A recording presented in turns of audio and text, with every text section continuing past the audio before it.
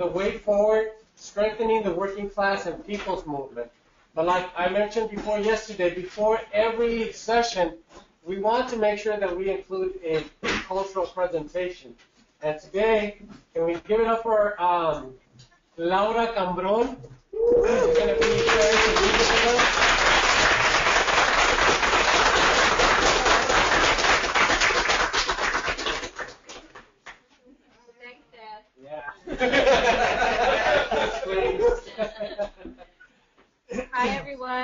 Um, so my name's Laura, and um, I uh, I've, I've appreciated a lot of what's been said um, since yesterday and even on Friday, um, and I think um, I've been a little lazy too long, and so I think you know it was really important for me to be here because even though my parents have been in the party since I was a kid, um, I feel like I have to respond now to the times. Uh, you know. So. Membership card? but um, so also, uh, I think it, maybe it's also manifested uh, in other ways. Um, this music that I'm going to share with you guys is, is called Son Jarocho, and it's from Veracruz, Mexico. Um, but it's existed for over 300 years. It came in with uh, with the Spaniards when they came and, and they brought the slaves with them, and also it, it mixed with indigenous the indigenous communities there, and as well with the African and the Spanish. So there's elements of that existing in this music today, and it survived, I think, in large part because of the way that it's played. Um, it's played in with very, various musicians. You gather around a wooden box where the percussion also plays out, um, but the whole idea is from beginning to end, which from the beginning means you start preparing the food, right? Um, you gather people, you have an occasion to come and play the music, and so really what it does is it creates community and it preserves it. And so this music has survived, I think, in large part because of that. And now on this side of the border, we've taken that on kind of like as a, as, as our objective. You know, how do we combat kind of the social ills of capitalism? Whether we're conscious of it or not, but we're drawn to it because it reconnects us with people and reconnects us with this idea that um, you can exist, and coexist in a beautiful way through music. So, um, but this music also has taken on kind of the, the shape of uh, the times that we're in and have been in. Uh, we, at least here in Chicago, I'm from California. Um, we, you know, with the with a lot of stuff that's happening here in Chicago, obviously with the mayor and the the schools, the CPS, and how badly, you know, the, the obstacles, the real challenges that they're facing. Um, one of the projects that we took on was really trying to support the CTU, the Chicago Teachers Union.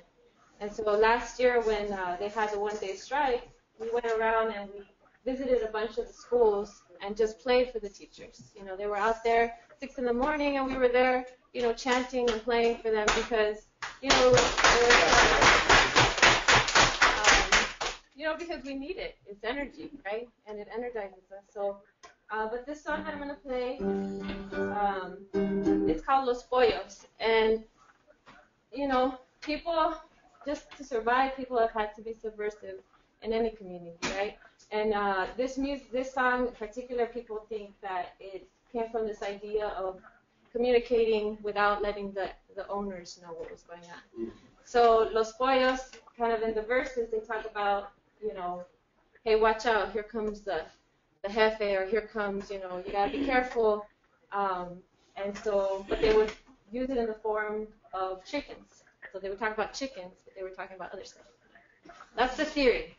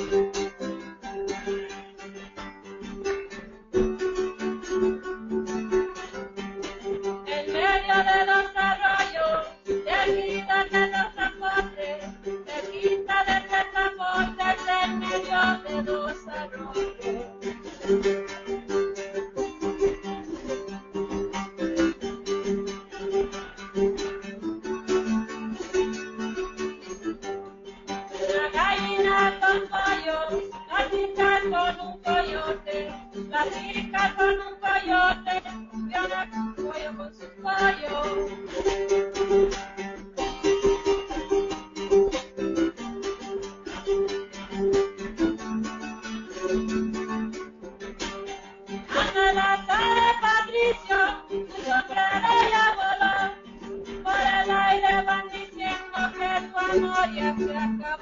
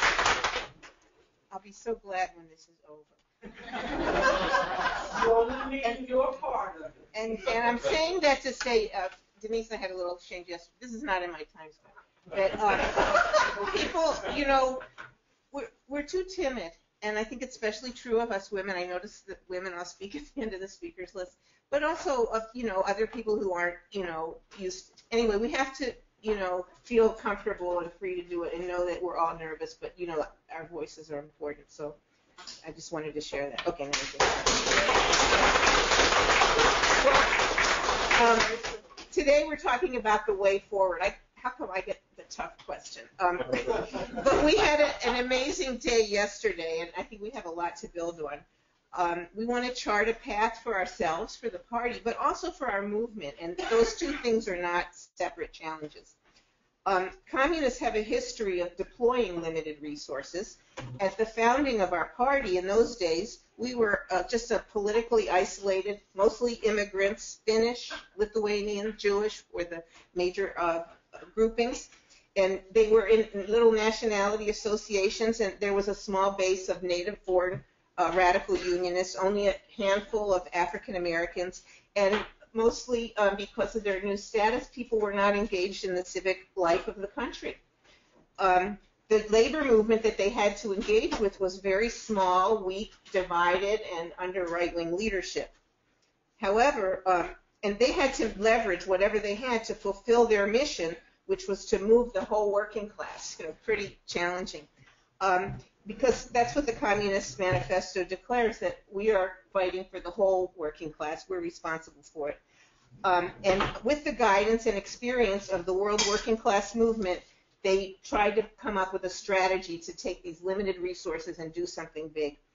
Um, at that time, there was a new and emerging industrial working class. It was young and vibrant. It was on its way to becoming uh, multiracial as the country changed from small workshops and agriculture, um, more the working class. Oh, and as the great migration of African Americans from the South. Um, so even in, when the working class still only made up about 50% of the population, but and most of those workers were um, industrial. But the party methodically chose just four key industries: steel, auto, transport, and electrical. And they only made up a small piece of the working class. But we believed that because of certain characteristics of those sectors, those workers could be, you know, like a lever to move the whole class. And some of the characteristics uh, and, and change the balance of forces in the nation. So some of the characteristics of these four sectors um, that caused them to be chosen was that they were the heart of manufacturing. They had the power to stop um, uh, production. they could stop the economy. Um, the conditions of work were very cooperative. You had thousands or tens of thousands of workers in one place, um, often multiracial workforces. They lived in concentrated in working class neighborhoods. Um, they were. This was the place where workers encountered the monopolies directly, where their their um, surplus value was stolen from them. These are the wealth-producing um, sectors. Um, so the party and the uh, movements close to us focus their attention and resources on those areas, on those workers, on their factories, on their neighborhoods, and their uh, communities. So, for example, the Daily Worker focused on reporting on those issues. Worker, the worker was distributed at those plants and at other organizations those people belong to, not by the people who work there, but comrades from all over participated in this effort. And most important, uh, I think, we brought those workers not just into the party, but into the party leadership. Um, and we built the party and its influence in those areas as a way of moving the whole class. And alongside of that, we identified, um, alongside of identifying this strategic sector of the working class, we were able to identify key issues for the class.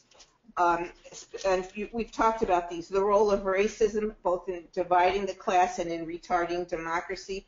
We brought in the idea that racism was not something that would be automatically addressed somewhere down the road, but that we had to specifically address it now. Um, and it wasn't a distraction from the class struggle. The idea that the fight against a war that a fight against your own country's imperialism was important. Um, we brought in the idea that mass unionization was critical for power for the working class, and that the way to do it was along industrial lines, not craft by craft. Um, we said that you couldn't shun the right-wing unions, and you couldn't stop and go out and try to create perfect ones, but you had to work in the existing unions, as difficult as it was, and we under William Z. Foster, developed the idea of rank and file caucuses as a tactic to do that. And the party brought in the idea, the outrageous idea that people could be paid for not working. You could be paid for unemployment comp. You could be paid for Social Security. Um, this was unthinkable that you could win that, uh, but the party said that you could. And um, so, in a situation in the Depression when the working class was starving and homeless, they could have fought each other, but the principles of, that the party, the communists put forward and helped win people to, you know, created a different situation where great gains were won. And some of the um, issues were uh, like advancing democracy, expanding voting, again, doing away with the poll tax, fighting lynching, fighting for civil rights. And there's so many things that we fought for that are, were won, at least in the thinking of our people, that sometimes we lose our niche. Like everybody takes your idea, and then who are you? You know. Uh, but I guess that's a good thing. Um, like industrial unions and the need for racial unity as an issue for white workers, um, and that unity was an issue for the whole class. I see. I'm so delighted to see these old pictures of CIO white workers in Detroit marching with signs "Free the Scottsboro Boys." You know, and like I'm thinking, how in the heck did you know why? How did they see that connection? That was so, so deep. Um, uh, and we brought the idea of the role of the labor movement as speaking for the whole working class, not just for the people they represent, and the idea of international solidarity as opposed to align with your own country's uh, ruling class. Um, there's so many Marxist ideas of how about the economy that are now generally accepted that labor creates all wealth, those kind of things. Um, they're now part of the accepted wisdom, certainly on the left, but also uh, widely among broad masses. Um, so let's get to the. So they were able to change the balance of power. That was a good strategy, I think.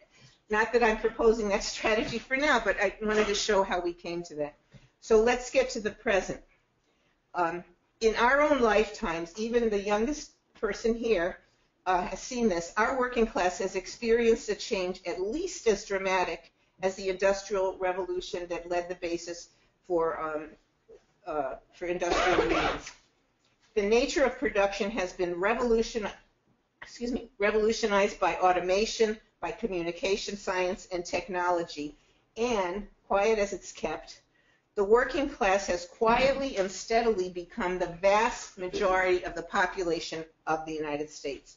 90% of our country are wage earners. That's how Denise, you know, the pocket definition of the working of workers. There is a small business class, what you often hear called petty bourgeoisie, but I like to use words that I feel other people will understand, so I'll call them the small business class. And they, you know, they shrunk from what was almost 50%, you know, not so long ago, down to uh, less than 10% of the population. There's 30 million small business owners.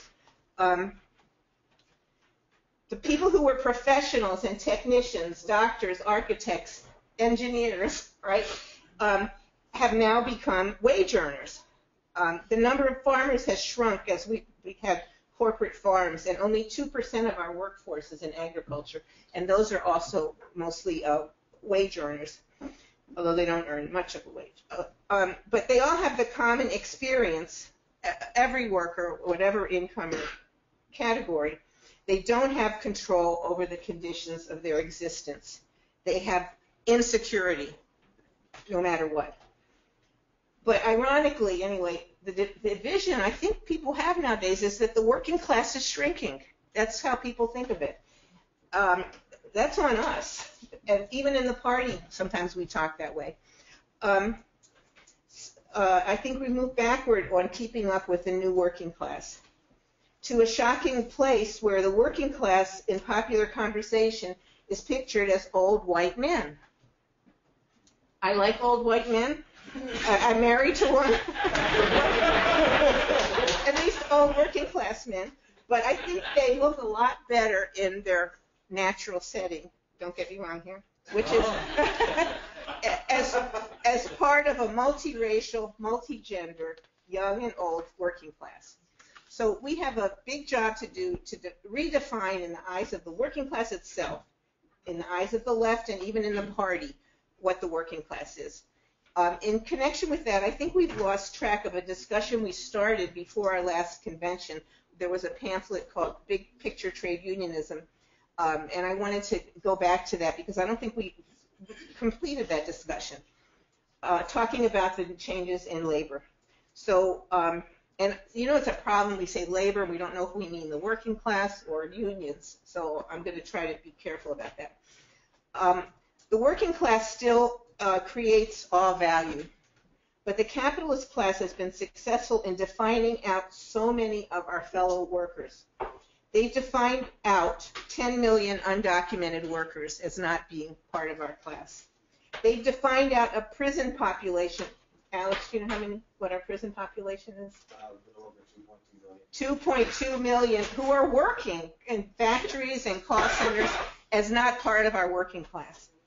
Um, they've defined out tens of millions of African Americans, Latinos, women who don't fit the, you know, the stereotype.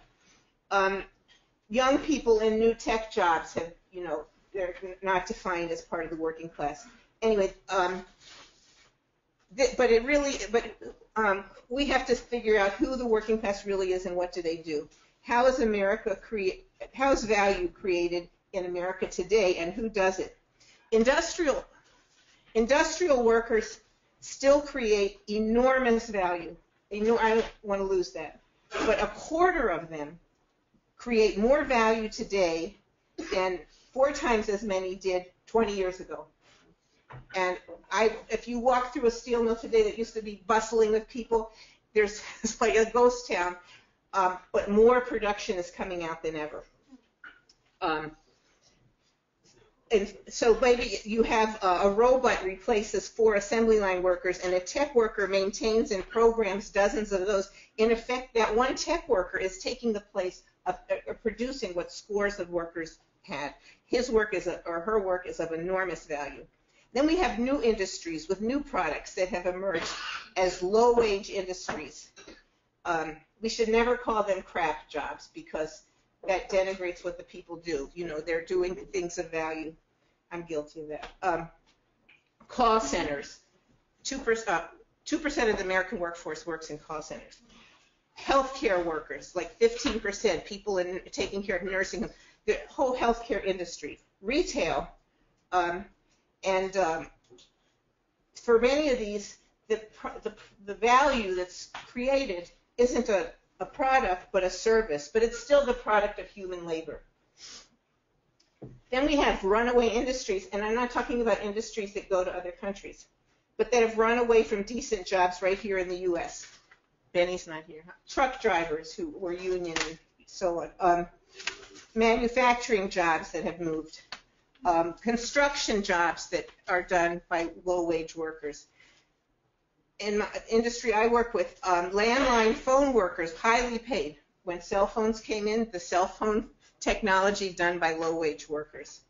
Um, unionized meat cutters, great jobs, replaced by poorly paid fast food workers. Unions aren't able to follow the changes in methods of production as nimbly as capital can jump from here to there. And this is one of the things that's happened. We have uh, so many unemployed people, partially employed people, day laborers, on again, off again workers. But the bottom line is, as the vast majority, the working class occupies a different, potentially more powerful, more powerful position in our society than even before because we're such a big majority.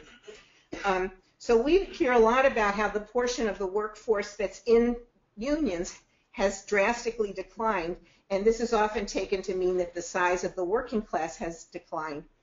This has to be corrected. The labor movement is a critical part of the working class, but it is not the same as the working class. so now on to some ideas about moving forward. Excuse me.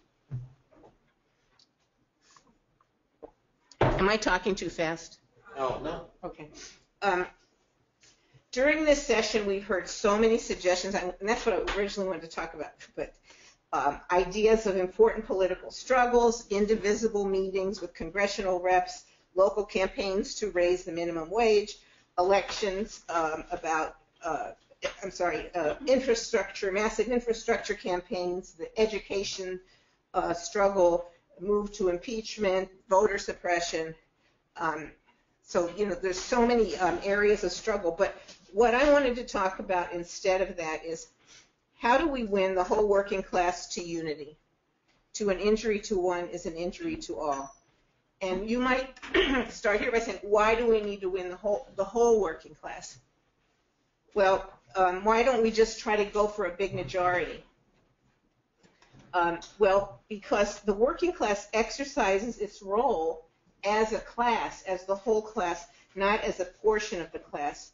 But also, the urgent task that we have right in front of us today of preventing fascism, we have to know that fascism does not need a majority to come to power, but it needs a mass base.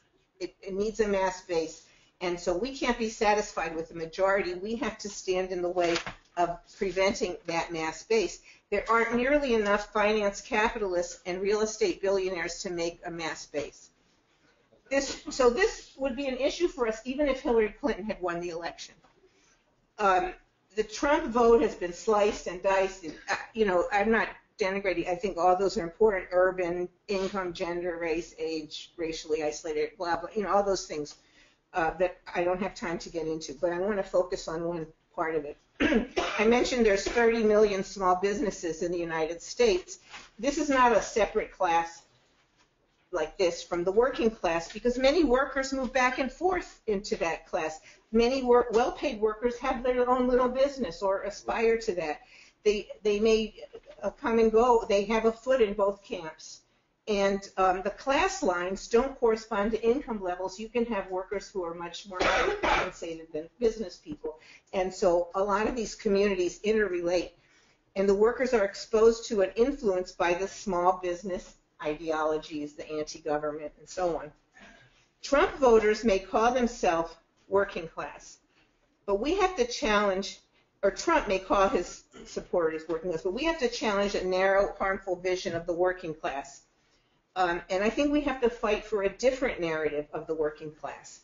So, ironically, capitalist Trump narrative sees white these white workers as pathetic.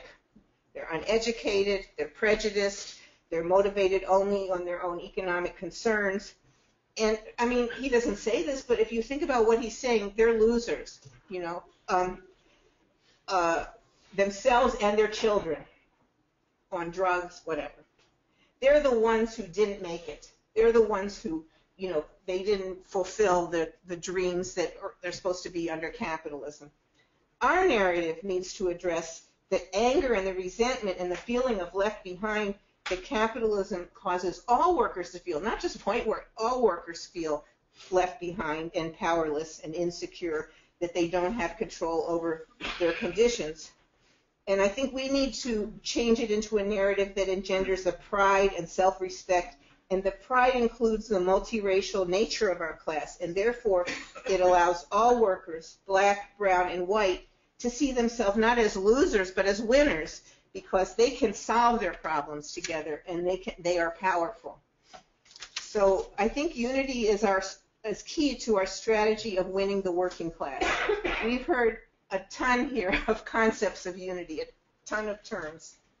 And it can be confusing. United Front, Popular Front, Labor-led People's Coalition, Left Center Unity, Unity Against Ultra-Right, Multi-Class Alliance. Any more? Okay.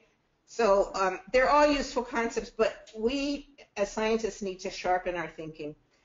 Should we be talking about left center unity of the working class? Wrong. Okay, Bruce, sorry. I, I know I It's a foreign term to a lot of people. well, I don't mean the term, but the concept. Because um, we should be talking about unity of the entire class, the entire class. And um, for one thing, we can't be okay with a significant section of the working class being under the leadership of the right wing and this, thus a base for fascism. So I think where we can talk about certain leaders of the working class or, or whatever as being the uh, on the right, and we want to have left center unity even in the labor movement. To talk about the class as a whole, I don't think we want. This is you know up for grabs here, but I think it's a problem to talk about left center unity within our class because we don't want unity of part of our class against the other part of the class. Um, so uh, have another term, unity against the ultra right. I also find that flawed because leaving out any reference to the class character of the ultra right leads us in that same dangerous direction where we're unifying all these forces against these other forces, the ultra right, that includes a portion of our class. So I think we have to talk about unity against the, you know, corporate ultra right or that section of the, you know, corporate class that is ultra right not just an, a classless ultra-right. Again, this up for grabs here. Um, so let's go back to the uh, definition of fascism. Who remembers the official definition? I didn't write it down. Yeah, the, the historic communist definition was laid out uh, by uh, Georgy Dimitrov. You have to speak up, I- Carl. Oh, I'm sorry. The, the, the classic communist definition of fascism was laid out uh, by Georgy Dimitrov, the great Bulgarian communist, uh, at a Comintern Congress, I think in 1936. And if I can remember just about verbatim, fascism is the open terrorist dictatorship of the most chauvinistic, imperialistic, uh, reactionary, there might be another adjective too in there, sections of monopoly capital. So the key things here open terrorist dictatorship. Uh, Okay, I'm cutting you off because you're taking my time. That's why I called it a. So, but the key thing is of monopoly capital, and I think today we can think of finance capital, and I think we need that term in there to say what we're you know what we're uniting against. Um, so we should not be for. Um, oh, I said that already. Okay. Um, and I have one other issue, and that's the term multi-class alliance. I think we need to adjust it. The concept is a valuable one, but we're not calling for the alliance of the working class with the capitalist class. Um, it's of great tactical importance to us to be open and to fight for an alliance of the working class with a section of the capitalist class whichever section might be, you know, ready to join with us in taking on the ultra-right part of the capitalist class. But I'm troubled that the term multi-class alliance doesn't make clear that it's a tactic to take advantage of divisions in the capitalist class and not um, a, strate- a strategy of, um, you know, uh, aligning the the two classes. Um, so, uh, and it doesn't make clear that there's different sections that we might ally with in different times. So maybe the term a temporary alliance with a section of the capitalist class, or maybe cross-class alliance, something more clear. It also kind of feeds into this idea of the working class as being kind of narrow. So if you're talking about multi-class alliances, people start thinking, oh, alliance of teachers, alliance of, of tech workers, alliance of organized labor, you know, instead of thinking of the whole working class. Um, finally, um, I think our catchphrase, labor-led people's coalition, is also problematic. And the reason why is that we need to win progress in socialism. What we need is a, pe- a people's coalition led not by labor, not by the unions, but by the whole working class. Of course, labor will organized labor play a huge role in that, but it, we can again we have to fight for the role of the whole working class. Um, and labor-led implies that labor is the whole class. It makes the class much smaller. This, words matter. They shape our thinking, and that's why I'm bringing this up. And these are uh, not, you know, I'm not. I'd be happy to be corrected. It's not. I'm not making a definitive statements here. So, uh, if we agree, uh, we need a strategy to win the whole working class. What is that newest strategic approach, given the fundamental changes that we talked about? Two minutes. Okay, I'm good. All right. Um, so here's our resources. we have our communication tools. We've got the People's World. We've got social media. We've got the CPUSA website. We have followers coast to coast. People are writing to Roxana every day. Uh, we're part of local networks in many places. Um, we have comrades, young comrades, as well as old ones, the young ones with very valuable experience and wisdom. Uh, we have our brand. we have prestige. We have a certain degree of authenticity. Um, we have contacts with leaders and activists and unions and all kinds of other organizations. We are lucky to have a fairly united labor movement with fairly progressive leadership, the most, um, I think, in our history, uh, and a leadership that's not under control of overtly, you know, pro-capitalist uh, leaders. Our party and our movement have a culture of camaraderie, of solidarity between people of different uh, races and genders and uh, ages. Um, we have a leadership of black leaders, Latino leaders who are revered in our movement and outside of our movement.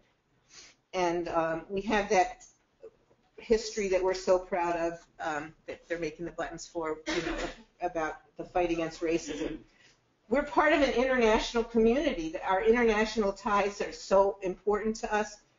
Um, and we have material resources that our community, our family, has had handed down to us, both um, uh, financial resources, but things like the collection of works at the Tamiment Library. And we have a family of allied organizations like International Publishers that does so much to contribute the People Before Profit Education Fund and so on. But most of all, we have our working class science. We have a long range vision.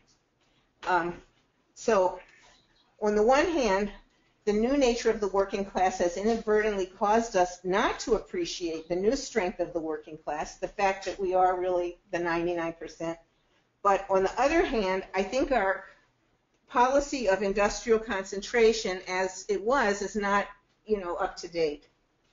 Um, working class has changed, so has the organization of production. There's no huge factories with thousands of workers. We can't just focus on organized labor because it's less than 10% of the workforce. We have to give great attention to industrial workers and the organized sector. There's still a lot of leverage there, but it's not enough. So where do we put our lever? You know, where are we going to put these resources? I know you're all waiting for the answer here. Is it workers in a particular sector of the workforce? Is it tech workers? because they can, they're like a choke point, they could stop production, or transportation or communication workers, because they're in a very powerful place? Is it low-wage workers, a group of workers that could strengthen immensely the labor movement if they were organized, um, perhaps in non-traditional or different methods of unions, the way industrial unions changed how people were organized? Or maybe is it as a work group? Is it communities across a certain issue, like those affected by the energy revolution, bringing together green jobs, people in coal industry, election, electrical production, as well as environmental native? Do we come up with some campaign across that? Is it around a struggle like the infrastructure? Or do we look for a demographic group like young workers? Or maybe a certain geographic area, the red states or counties? So I don't have an answer. I'm, I'm not satisfied. None of these fits to me. None of them. And um, so I think what I, and I don't think we could solve this here, but I think it's something for us to ponder. We need a strategy to unite and move the whole class. We can't just address everybody en masse. We have to focus on something, and it has to be the thing that will move the whole thing. So um, I, I try to uh, use here some of my ideas as a worker and synthesize some, some things. So I hope that um, this will be a, a useful um, uh, start to this discussion. Thank you.